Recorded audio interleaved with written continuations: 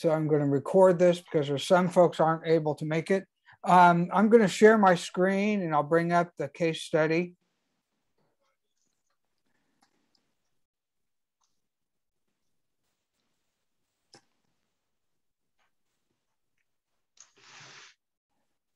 Okay, let me find the case study and there you go. Can you see it there?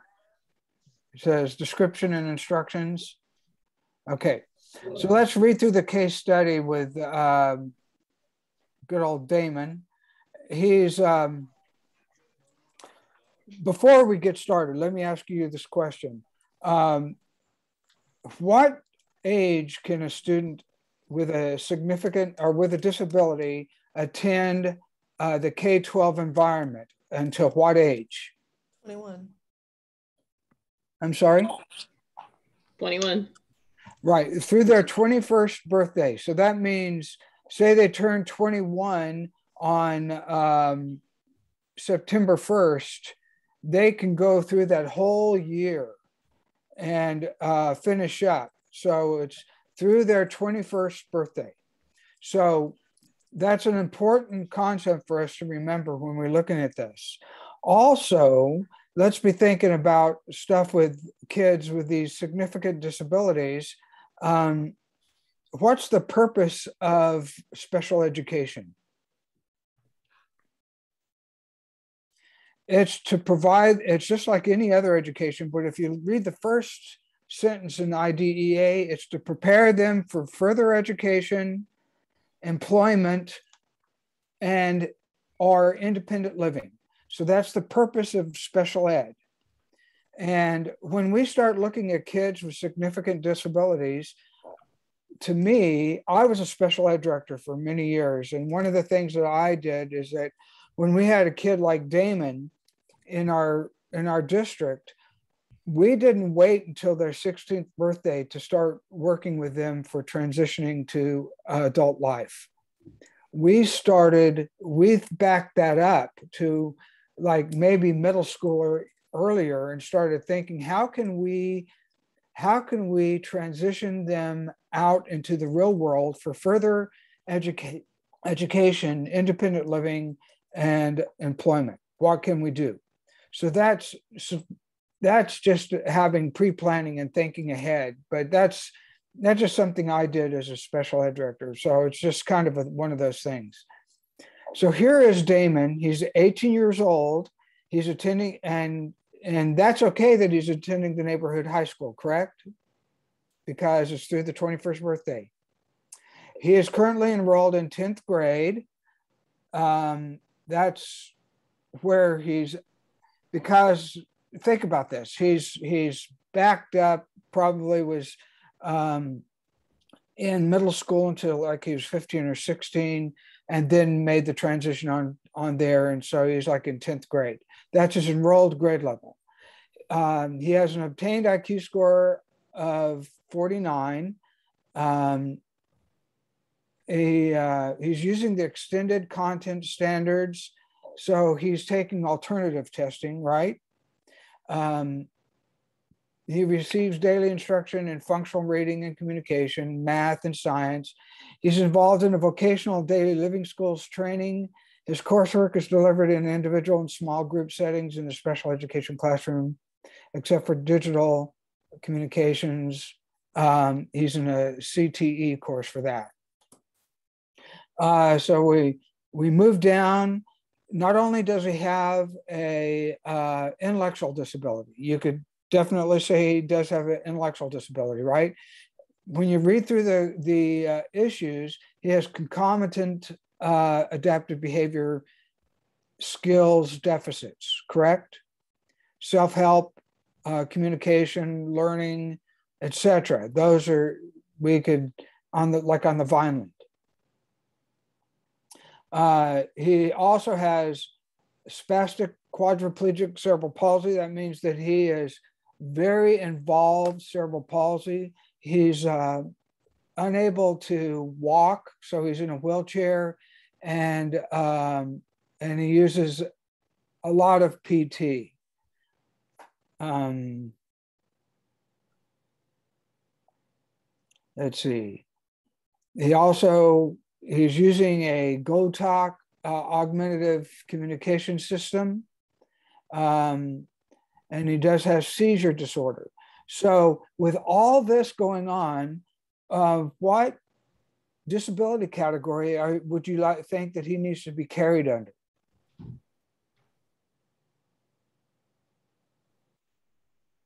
I think multiple disabilities with the orthopedic impairment and the intellectual disability.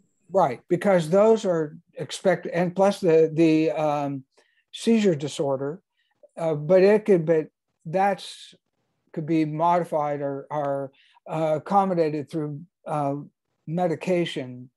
So yeah, the the uh, the two specific ones that would uh, go forever would be the intellectual disability and orthopedic impairment. So definitely meets the multiple disabilities piece. So as we read through this, uh, you can even start thinking, um, what would you do with a child that is 12 in your class, in your district, and has these things? So you have all this information. So let's go back up to what I'm expecting you to do. Um, so number one, what category or categories of disability does Damon demonstrate? You guys answered that. And explain it and say that he has intellectual disability and orthopedic impairment that together cause him to have a educational need for specially designed instruction, correct? Wouldn't you say that? The two together are more than what ID or orthopedic impairment by themselves would be able to provide. Okay. Um, what are some educational needs? So you can pick up from the case study some educational needs. What are some things that he needs? And let's, I want to touch real quickly on educational needs. Are educational needs just academic or are they broader? Okay, so if they're broader than just math, reading, writing, and the other subject areas, we're talking about um,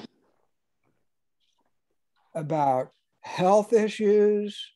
We're talking about uh, physical issues, emotional issues, maybe even behavioral. Um, we're looking also at uh, career and technology issues. So those are some of the things, those are educational needs that this young man will need, correct?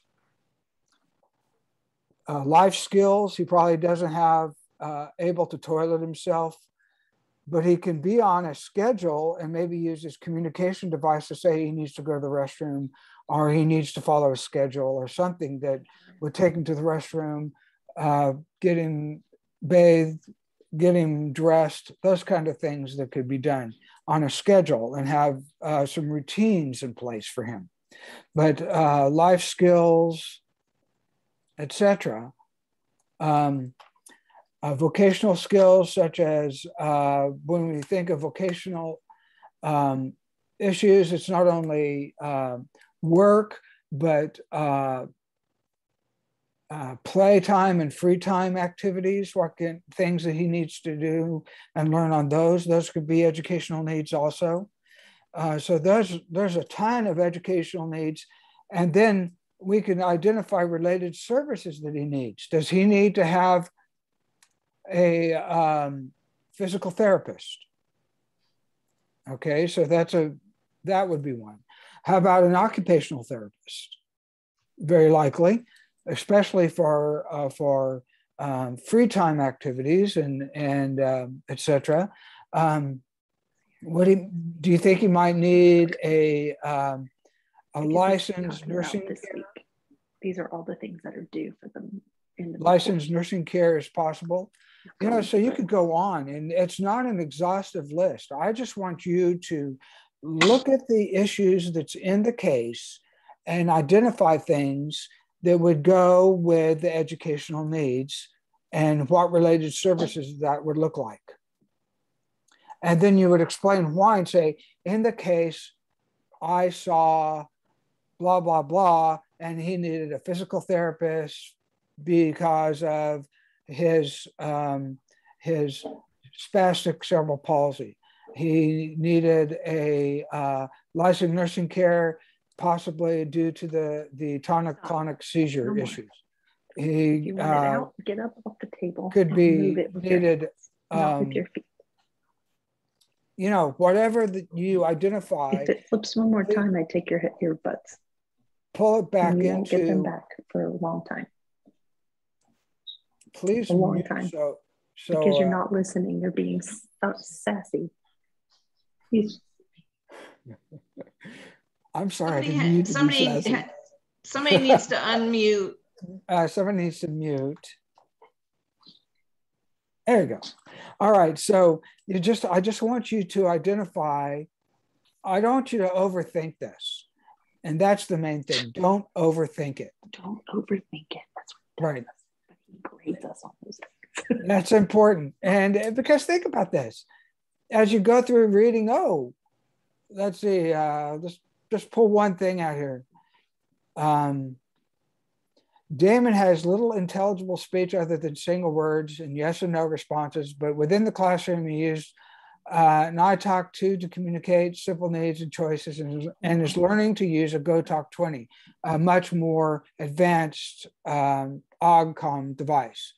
So, who, what services does he need for this specific thing? Does he need, and it says he's receiving speech therapy, but does he need uh, augmentative communication training for these items? Very likely. So it might need more than just the two uh, two times a week that he's receiving the speech therapy. Does that make sense? So Yes, might need. Dr. okay. Cavitt, is there a place that, uh, or a site that will help us know? So like some of the services that you're talking about, I know some about, but some of them I don't know much about.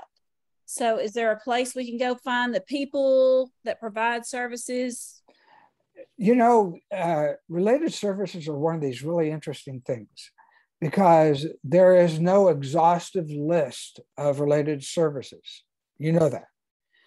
This that list could go on for eons and eons and eons, um, because it just when you have to look at the need and see if that has an educational relationship for that service. You you're just going to have to go and and it's like one of these things there's not a place that has them all i would google uh, various related services and uh, say like like music therapy is a related service. And does it have an educational basis or not? But um, say like you're looking for the, uh, this specific specific thing with damon I would look up, he might need to use GoTalk 20 in uh, ordering at a restaurant. So, would that be extended services? Would that be in home training? Would that be what? In home training is a related service. So, and a lot of times, our in home training that we did in our district wasn't necessarily at home, but it was out and about in society so they could learn that. Does that make sense? So you just, I would just start say, okay, here's something that I don't know anything about. I'm going to look it up, and you do a search. Nobody, you know, that would be awesome if somebody could put together some things that start a database that could find that. Um, I did that years ago in a class where I had you find at your district the related services in the community that you could uh, connect to and how that would uh, benefit you as a, a, a teacher in the classroom. So, where you live, the service, and what it is can be different, uh, crazily different, if you know what I mean. Um, I'm actually struggling with one of the more clear cut parts is the the graduation and the return to school. Like there's no information on whether he's completed his IEP, what credits he has, none of that. So Okay, the most clear cut part seems to be the most difficult for me. okay, so, um, so here it is. This is saying, let's read this question. So let's analyze the question. Fully explain how Damon may. Okay, is that saying that he will, or is saying how, what could he do, what could happen if he meets the criteria to return to school? What would you need to do? So you go into the, remember how I had you look at the graduation stuff and how a student can walk but return to school after graduating? What are the requirements for that? So then you talk about this is, and take out of the case, these are the things that would meet that criteria for him to return to school after graduating. Does that help answer that?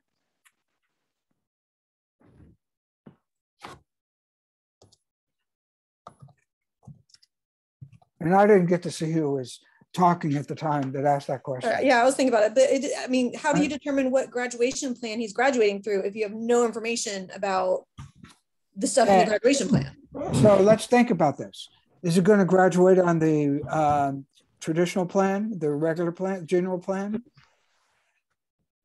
No, but all of them require him to meet his IEP, which we have no information about. Okay. So, but that's not, okay. Let's look at the question again. So he has to, what does he have to do? What must he do to meet the criteria of being able to return to school?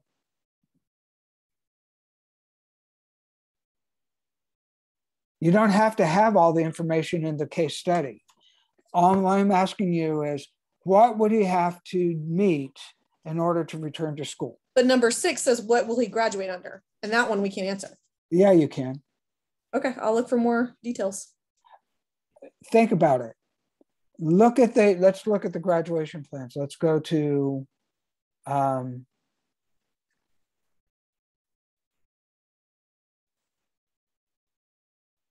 the, the, uh, new tab. You look on the frameworks, wouldn't you? Yeah, that's where I'm going. I'm pulling it up so it's on here.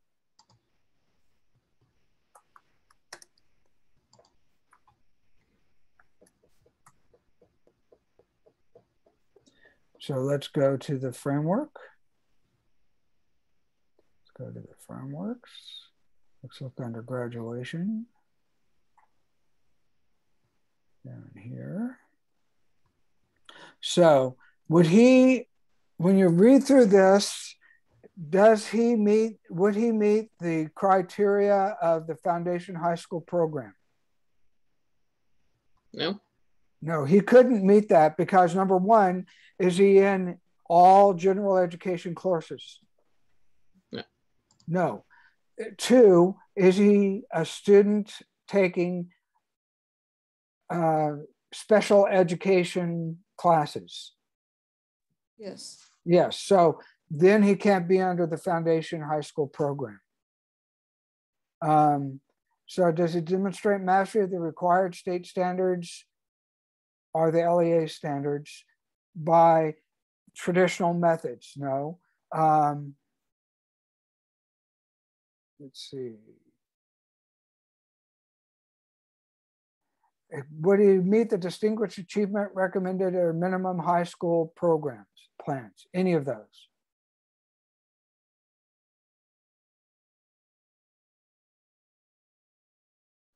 Would he, could he meet master the state TEKS? Could this student master them? Or is he going to be um, taking alternative assessments and meeting the alternative curriculum? Which would he meet? Likely the alternative curriculum. Right. So you're making some assumptions. You have good information to think that he would not uh, meet uh, distinguished or recommended or minimum high school plans, that he would be under the alternative um, pieces.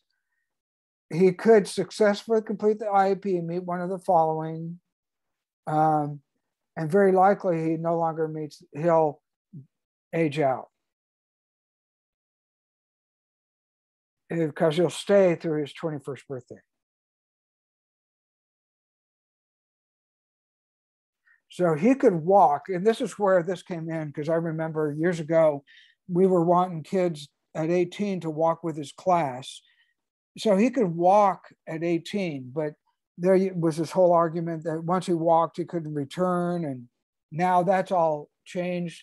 That age of um, eligibility must be through through 21st birthday kind of a thing. That um,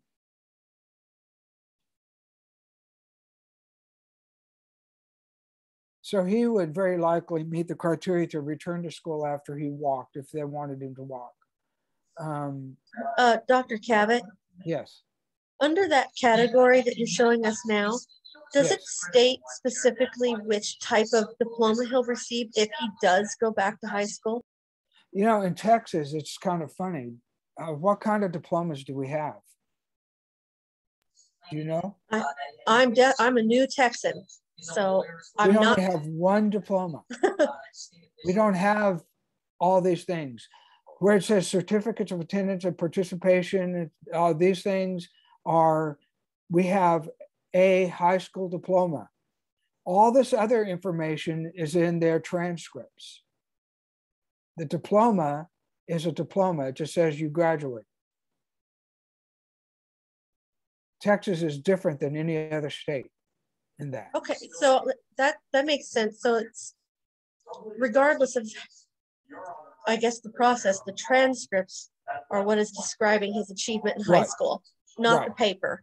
Right, because when you look at the, there's certain codes and say the code is one, two, three, four, five, six. There's numbers in those codes that tell you if that was a general education classroom or a modified course. And, and that's important for the distinguished plan, because if you have a student that takes a modified course that might start off with six, five, four, three, two, one, and that's indicating a modified course, then the student could not receive distinguished on the transcripts because he was in a modified class. Does that make sense? Yeah, it, does. And for, I guess, uh, maybe not this student particularly, but for grad, um, employment purposes, can the students say they've graduated high school? Oh, yeah. You would say So that, even if their transcripts might show modified or something like that. Correct, correct. He still graduated high school. It's kind of like, you. you're welcome. Years ago, remember, you know, we have a, uh, we have two grading systems in, in Texas. In a sense, we have the four point scale for people that are not in an AP placement classes. And then you have the six point scale for people that are in AP, correct? You get two additional uh, percentage. That's why people can graduate graduate with a um, grade point average of 5.23 something another. Okay. Years ago, there was this whole big brouhaha saying that wasn't that wasn't quite fair. And so they, which it is fair, now the law is all changed. But we were having, so they went back to just a 4.0 scale, right? So you have all these students in special ed on IEPs, and they they're getting uh, GPAs of 4.0. Could they be valedictorian?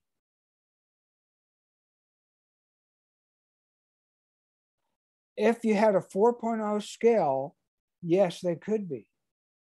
And that and that was the big problem. But by adding the two additional points for AP classes, you can add two, but you cannot take away. So you couldn't say that this student, because they were in special ed, couldn't have a 4.0, they could only have a 3.0. That could happen. But with AP, because you're adding two, you can have a six point grade scale. And that took care of that whole issue of grading for students with uh, IEPs. Make sense? Does that make sense? I, I will find the uh, the find the letter um, and send it to you guys. There's the Department of Ed wrote it and send it out about that. I'll find that. So letter. was was that because uh they did not want students that had uh a 4.0 and but they were taking say easier classes. They didn't Right. want them to be valedictorian. I mean i'm just putting it out there. That's well that's they didn't earn they they're what they're saying is that to be a valedictorian or whatever uh, first class rankings it was more about class rankings. The class rankings is based on the six point scale of those taking ap courses and that way they get the in the ranking I'll, I'll, I'll find the letter and I'll send it to you guys and it'll explain it better than I did. But you can add to, but you can't take away. Because then that becomes discriminatory when you take away. Um, boy, I had that in my previous computer. I, I'll find it. Okay. Um, so let's go back to that question about graduation. Let's. So, what graduation plan do you think Damon's going to graduate through? Do you think he's going to age out? Yeah, he's going to age out because he's not going to um, meet all the needs. Uh, and he will no longer meet age eligibility requirements and he'll age out. Okay? So that is, that's very likely what he'll do.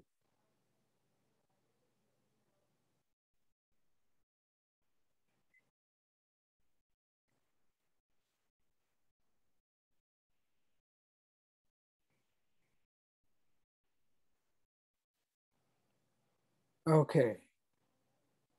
Let me get that pulled back up. What else? Um, because you can rule out, you can rule out all the other ones and explain that it's very likely that he's not going to meet the requirements of having a full-time employment, um, uh, live independently, or um, attend a, a uh, trade school further education. Okay, what else about this are you needing to work through? And I do want to tell you guys that this is the, um, I'm taking notes on this because we uh, are moving away from the, the, fi- the final objective quiz and moving to the case study quiz. So we'll uh, we'll fix the issues. So I need to address six that will and seven before we um, launch it officially because you guys are the guinea pigs, and I appreciate that. So need to fix those. I have a question on the Vineland, On the Vineland, okay? Uh-huh. The Vineland. Um, are we supposed to print that teacher form and that's, those are the questions that we are answering based on the video? Yes. Okay. And and the reason for that is that we went to a digital process rather than mailing out everything, and it just because uh, it just got crazy expensive trying to get it all back and cost you money, cost us money, and this way it's a few pages is not as bad to print as it is to mail a whole book back that costs about 10 bucks which is unheard of. Are we expected to mail that to you? Because I thought in one No, the, what I would do is I would, you know, scan it in and e- email it and put it into the, in the transition case study, you can upload as many documents as you want. So upload your Vineland uh, teacher form it's a you scan it. In fact, you can get a scan app for your phone, and it'll scan into your phone as a PDF, and then you can just send it that way. Yeah. That's what I would suggest. And if you can do it online and and create a, if you have Apple, if you have a Mac, you could take that form and use the text tool in preview and you could do it all online. You don't even have to do print it out. You could do it all online and save it as a export it as a PDF file if you Oh. have a Mac. Yeah. Hmm, Okay. Because with Macs, let me uh, pull up a, I'll find that. So are you saying if we have a Mac, we can do the Vinland or the Vineland um, all online without having to print anything? Yeah, I was going to show you how to do that. I was going to go to the. It might be it might be easier to print, but you know if you don't want to print it, it's no big deal. Um, so we'll go to your class. We'll pull up the teacher form.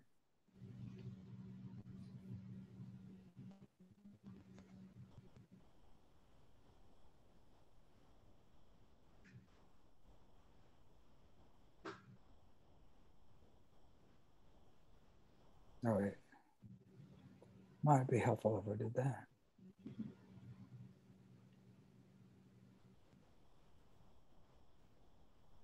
So you would download this.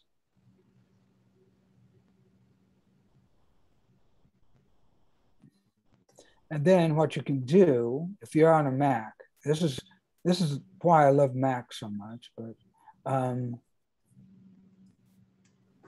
you can take go up here to tools and show the toolbox.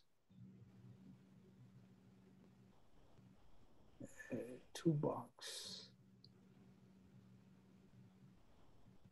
Annotate. See, there's text. This little text box. Say you're wanting to. Um, that's a scoring criteria. Never mind. Let's go down to where you score.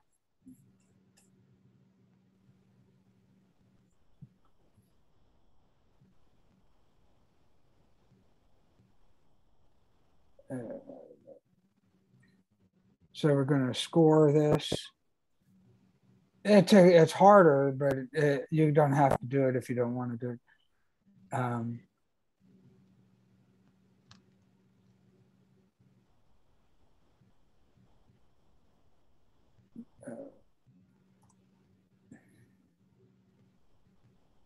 annotate text box. And so you could drag it over and you could put, say, like you want to do two there. So you put two. You see how that you can do that? It just takes, it's longer to do that. then you could print it out or not print it out. And then you can just, once you get it all done, you can export it as a PDF and say completed, blah, blah, blah. And then say completed Vineland and save it, then you can send that to me that way. But I'm a little lazy. I just print it and just do it, hand mark it, then scan it and send it that way. Either way. Can you clarify? You said all 24 pages, right? Right. Right. Uh, you don't have to do the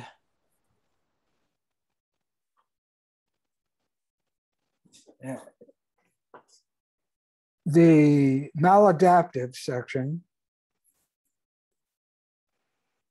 but you, yes, all all the rest of it. You don't have to do the maladaptive if they're older. Some of these, like fine motor, is only for um, or gross motor is only for younger kids, like five or so. Look at what it's for. Um, but I've had students that were so physically unable to do this that gross motor was was an issue for them. Uh, but if you're doing your child and you in gross motor, you don't have to do the gross motor page. or the fine motor page. If you look at that and see they don't need to do it, don't worry about it. Um,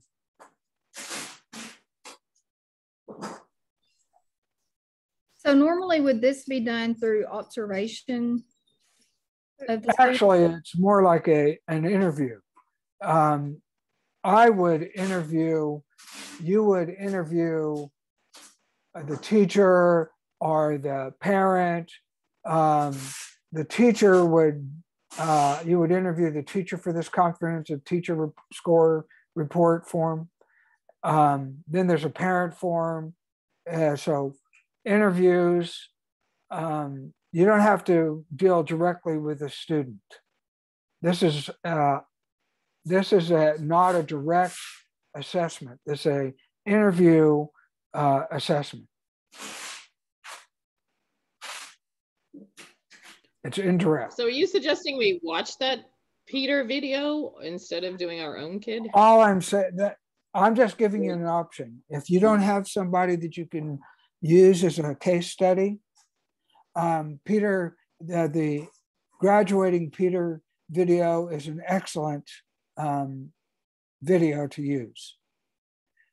And the reason why I, he's uh, has Down syndrome and he has um, intellectual disability and some other things going on, and so it's a real good case. Have any of you seen the um, Educating Peter video? That was him in third grade. And then they did another one of him in high school. And um, it's excellent. Both of those together make an excellent uh, case study of a student with a significant disability. It's just an option. You don't have to use it. You can use other people. I just given you another option. So what do what we actually need to do on the Vineland uh, website that we The wrote? Vineland, the what it provides for you is the manual. The Q, um, the Q Global just provides you access to the manual. That's all it does. You're um, for the for the scoring the Vineland and uh, administering the Vineland, you need to do that hand scored rather than um, and I sent you in the um, over here in D2L in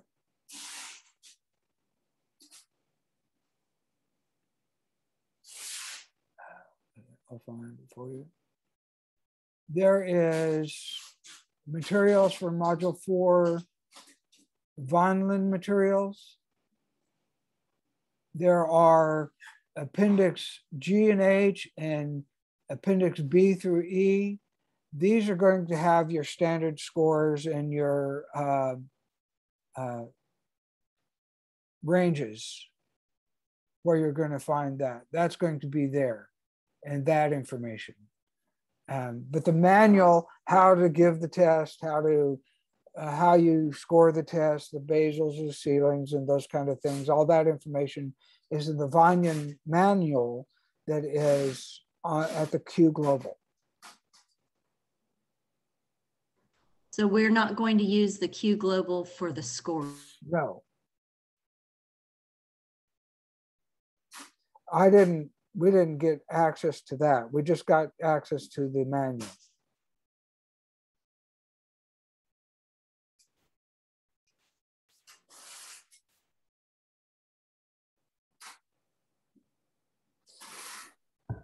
Okay, so we, after we do that, then we, you want us to hand score that. And then um, I also see where it says B informal adaptive behavior. Is that all part of that or is that something separate? Right, right. Let's go back to materials for module four and other materials for module four. You'll find the informal adaptive behavior inventory right here. And the reason why you're looking at a standardized one and a non-standardized uh, process. I want you to kind of have a, uh, look at both. So when you see the two, you'll see how it's different.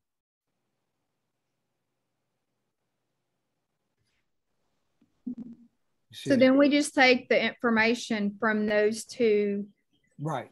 to complete, just like a summary of the, Right. You you're writing up a a, um, a an adaptive behavior report, and so I've provided you under this section here.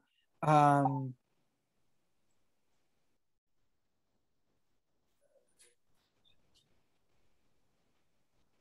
I had maybe it's back. Forget where I put it, but it's uh,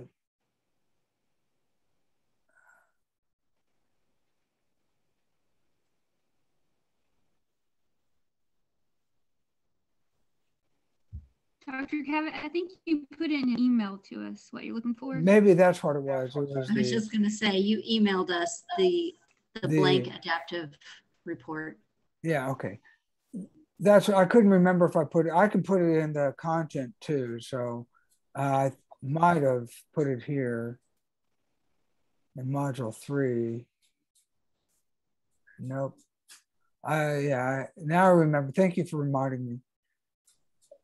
I'm a little brain dead this summer since we're selling our house and moving and everything. It's just been kind of crazy, so sorry about that. but we can either use that, the patent, or it said we could use the informal checklist, checklist as well. Yeah. Okay, Either one, uh, just so you have two. Does that make sense? yes.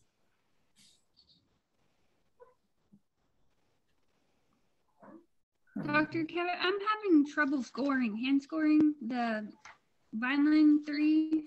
Uh, I got, you know, I have the everything, all the, I thought the raw scores. I went back like three times. I can't figure out.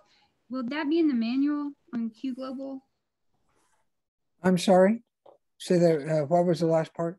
Okay, that would the manual tell me how to score it exactly? Yes. Okay. And um, so let's pull up that the uh, Vineland thing.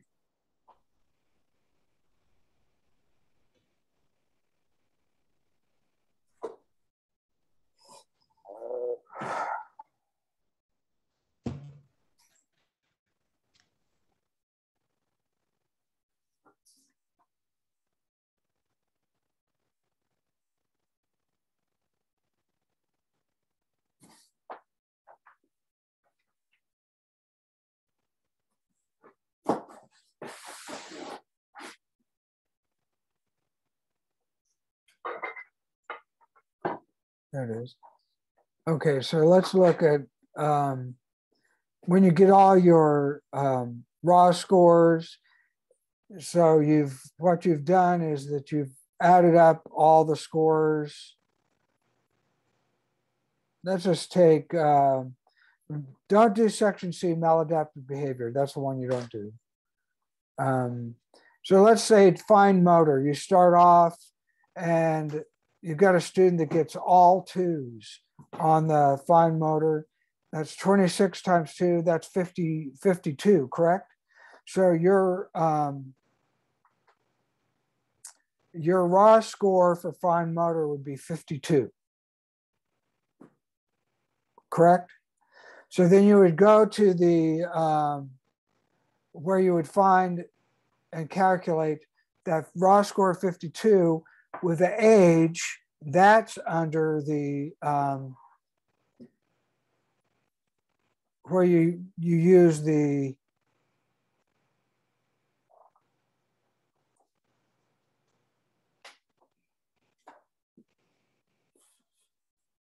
there it is. That's where you use the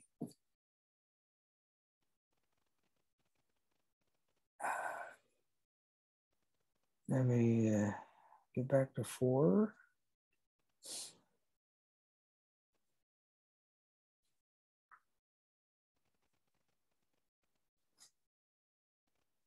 The appendixes here, that'll tell you the standard scores. You find the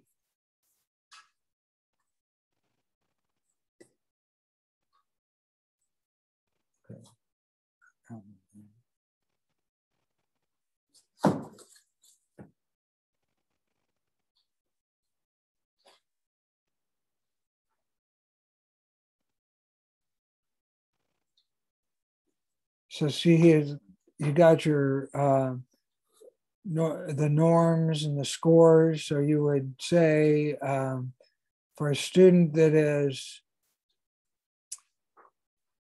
age two to two and a half, uh, two point three under communication, if they had a um, a one, you'd see that's a V score, a Vineland score, standard score of nine. Does that make sense? So you would find the raw score for the age and then go to the far left and find the V score and transfer that to your, your uh, document. And it just explains it all in the Vineland manual, how you get the scores. Okay, thank you. Okay.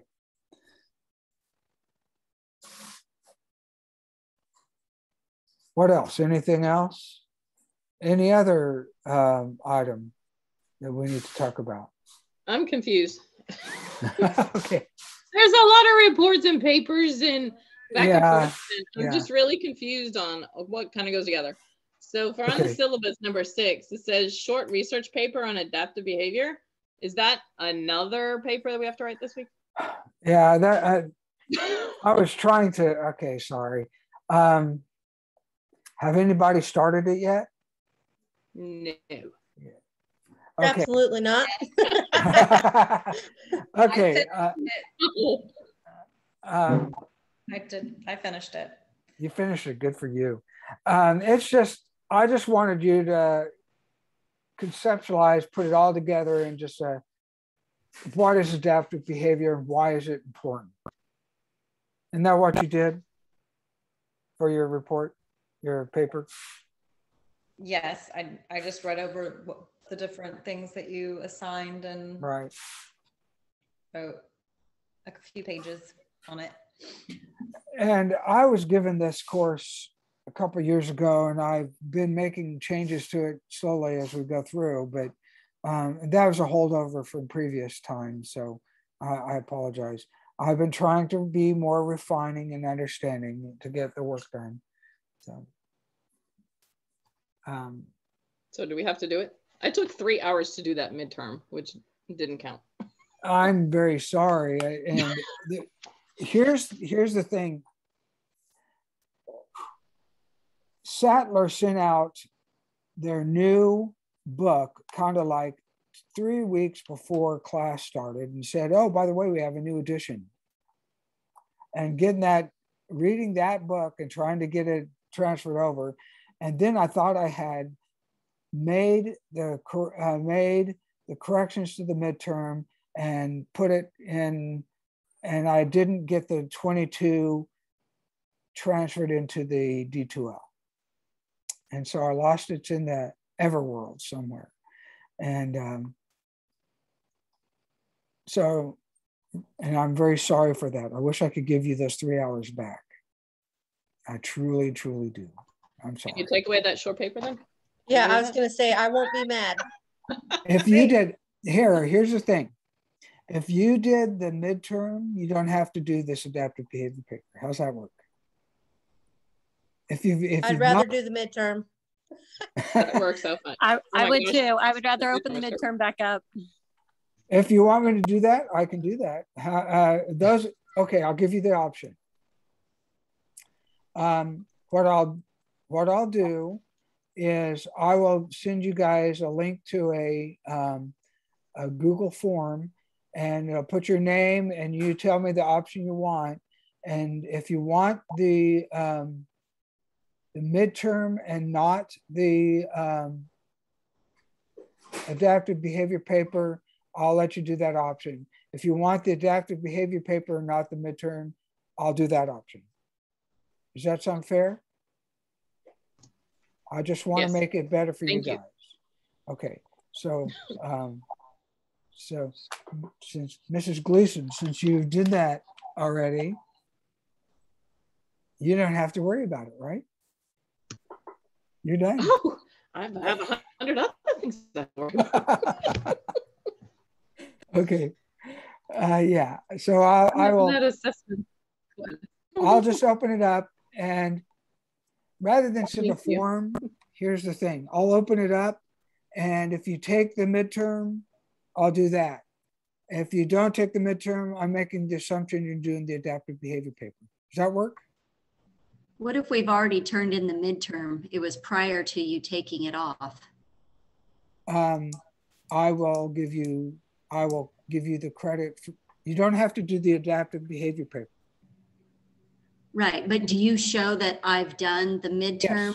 Oh, okay, even though you had taken it off, I didn't know if it would make yeah me. it's just it's just uh hid from you guys not it's not um it's not hidden from me it's just hidden from you guys Okay, and i'll fix that okay, perfect.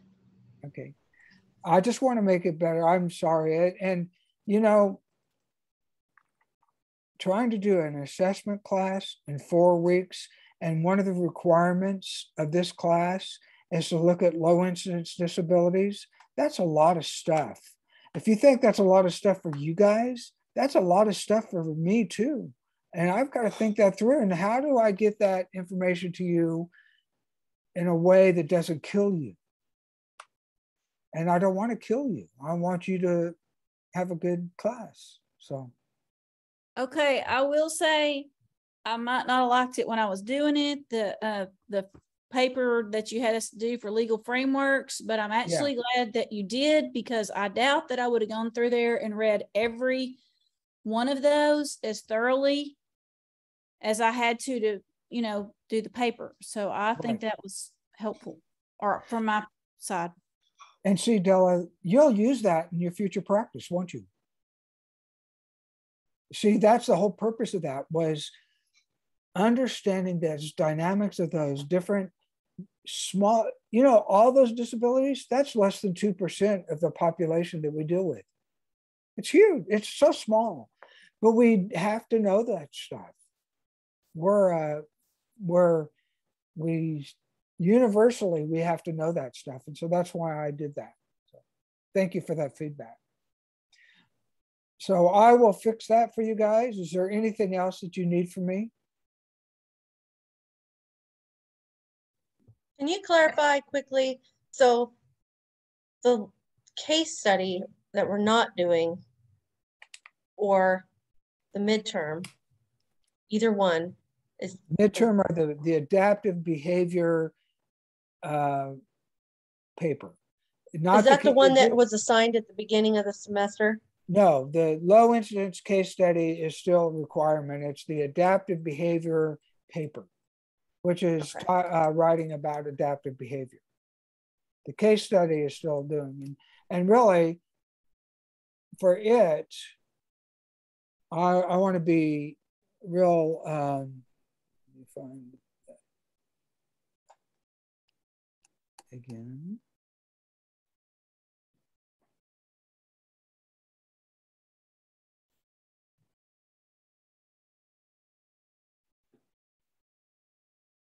all I want you to do is answer these seven questions for the adaptive behavior case study, for the low incidence disabilities case study.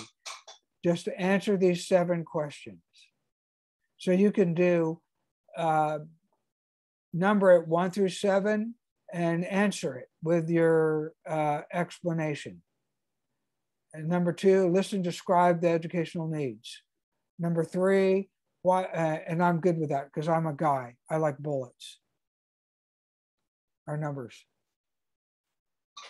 Um, is that going to make it easier rather than rather than writing a narrative? Can, yes, can we Yep. go over number four for fun? Number four. Yeah, just for fun. Okay. Transitioning from K to 12 environment is a change of placement. It is a change of placement. So that requires that you use current evaluation data. Don't you have to have current evaluation data to change placement? Isn't that a requirement under the IDEA? You can't make a change of placement without a current evaluation. Now, let's talk about what is an evaluation. Is it a, a group of tests? or is it a collection of data, enough current data to make a good decision? Which is it? Current data. It's, cur it's a collection of data, enough data to make a good decision. So um, some of you have taken some other assessment classes and you talked about the uh, review of existing evaluation data. Is that familiar to you? the REEDs? Um, do you always do you always go back and do testing under you while using a REED, or do you just collect data? So, and then a REED is considered um, current evaluation data, is it not? So therefore, when you see this, you use current evaluation data.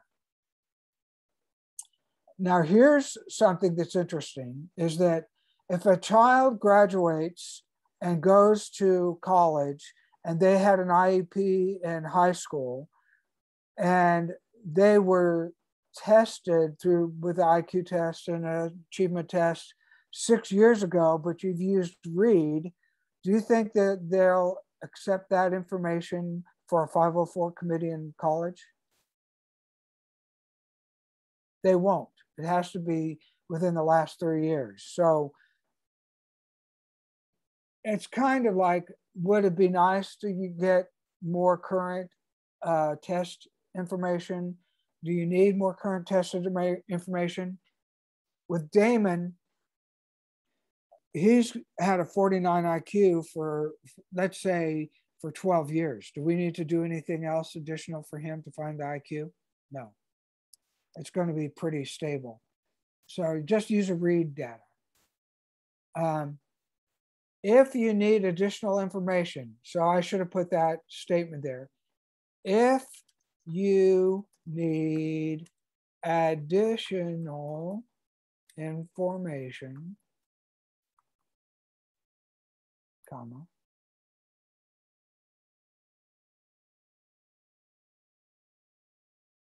create an evaluation plan for Damon.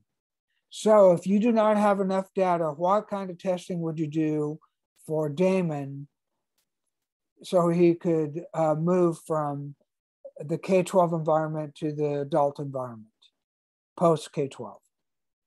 You might say a vocational testing. You might say the tag. You might say a transition assessment. You might say a current um, adaptive behavior test. Um, and that might be what you need to do for him to have current information. Did that help? Could yes. you also in the case study it mentioned that in preparing for his transition plan and that they had administered in a speech, physical therapy, and occupational therapy assessments focusing on the skills and equipment needed. And I was just going to include that. Would that be appropriate? Absolutely. Absolutely.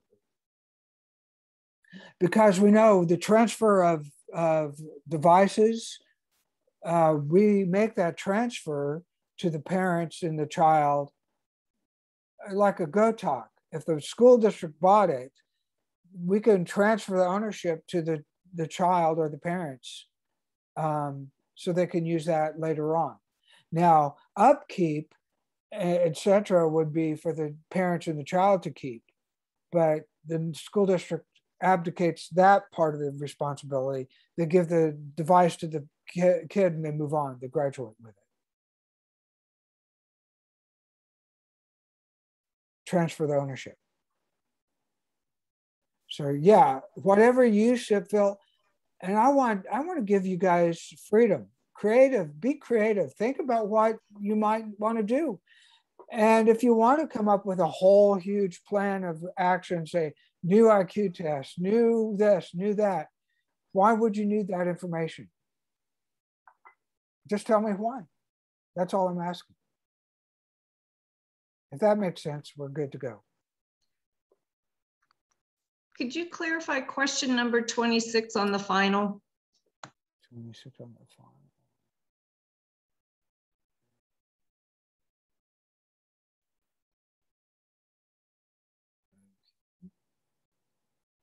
It seems like maybe the, the final choice should be all instead of none.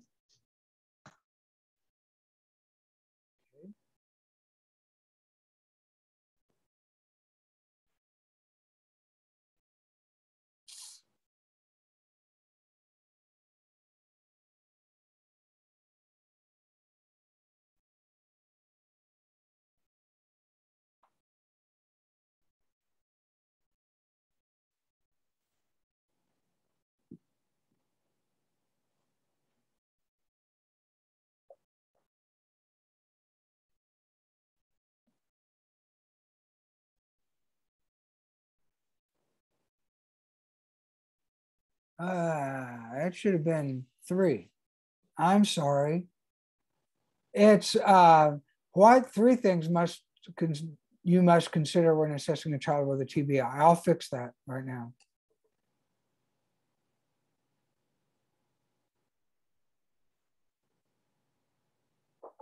See, I can make plenty of mistakes. Sorry.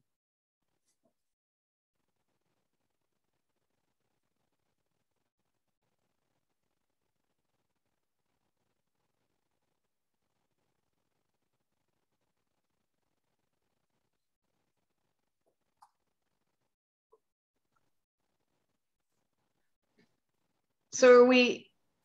If you look at this, this is a, oh, it's supposed to be a multiple select. I'm sorry. I'll fix it. I'll fix it actually. Because the bottom one seems like it should be all of the above instead of none. Right. Unless what, this one was supposed to be a multiple select. Uh, as you can tell that I like multiple select ones, right? So we'll fix this. I'll just make it easy.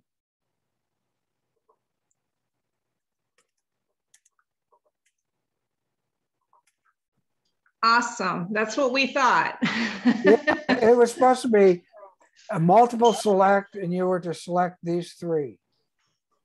That would have worked. Okay. And and I and if if you know if you've taken my test before, you know I like multiple selects because that way it makes you think through the question differently. And this, I'll just fix it this way. This makes it easier. So yeah, I'll fix it on the other there's two classes. So this one's fixed now and I'll fix it in the other one. All right. Sorry about that. My bad.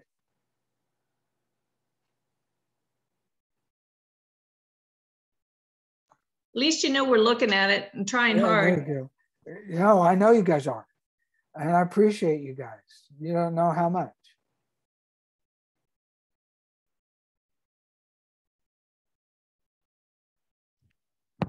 Dr. Cavitt, I have a question about on the syllabus in module okay. one.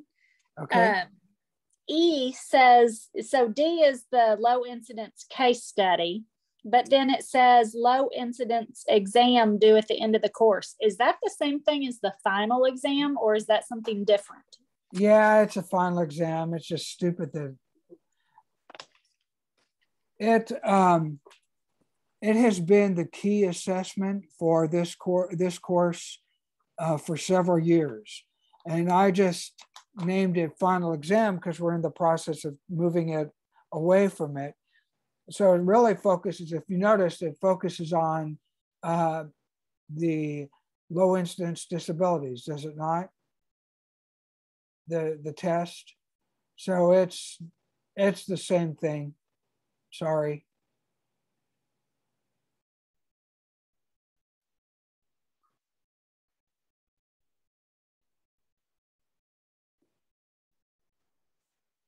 Does that help? Yes, that's exactly what I needed to know. Okay, yeah, we're, we're good. Sorry about that confusion. Okay, it's fixed now. Question 26 is fixed on both sections. Yay! Okay. Anything else? Yeah, there's a question in the comments that says, does the final cover everything from the course? Sorta, but it covers more the uh, covers more. Let's look through each of the questions so you can see them. They're right here. Um, so, in order for a student to be uh, diagnosed with ID, which of the following statements are true, so it's a multiple choice. Uh, what's the concern of standardized tests? So it does consider, um, look at I just got a, a little note from Becky saying, she says hi. Um, in order for this, uh, concern for students with blindness and vision impairments, um, hearing impairments, hearing impairments, um, some autism stuff, TBI, uh, another multiple choice about lang- acquire language, this is about uh, auditory impaired. Um, then this is about the bell curve. These questions are about the bell curve. And I could send you a bell curve with all the Z scores and percentile ranks. Would that be helpful? Say yes. Yes. Yes, please. I will do that. I've got I it. found I've all got the answers in the Sattler book. Uh, there's maybe a handful that I had to Google, but the Sattler book gave us even the bell curve, the Z uh, scores, the T scores. Yes. great. The What, fabulous. pa- what page is that on in the Sattler book? Uh, do you know it off by, by chance? That depends on which version. Yeah, I Oh. want I want to say it was chapter two was where it was talking about all the scores. Okay, well, um, I'll look at both books and I'll send you the chapter, uh, but I'll also send you one of mine that I have that has Page that fif- 53 in the old version. 53 and sixth edition. Yes, sir. Okay. The new Sattler book doesn't have any of the bell curves. The new Sattler doesn't? No, sir. Okay, well, I I will, I will send you a bell curve with all the standard score information, Z scores, T scores, and you look at that and it'll tell you all these answers. Perfect. Thank you. You're very welcome. Um, here's more about TBI, orthopedic impairments. So it's mostly about the, the uh, disability categories, low incidence. Um, and they're all objective, they're not um, written responses. So try to make it a little bit easier than having to write. I think it's too hot to think sometimes. I like the multiple choice. Thank you. Or multiple selects. Or, Or whatever. Yes. like here's the factors that affect validity of a test. So there you go. See? It's multiple select. Okay. But I'll send that to you as soon as we get off the, the um, call now. Okay? Yes. Thank you. And when is all this due? I thought I saw something that said July The 5th. th- June, June 30th at Okay. 11:59 PM. Or earlier is always better. Okay. I thought something said July 5th, and I was like, that's kind of late. Oh, I wish, but And no, the June, adaptive, the adaptive paper says July 5th on it. the yes, which one? I knew something did. The adaptive paper, if you go to content, um, Oh. and click on Well, it. that's a mistake. It's supposed to be June 30th. Oh, I got really excited that maybe everything could be due July 5th. That's why I'm asking. When's it all no. due?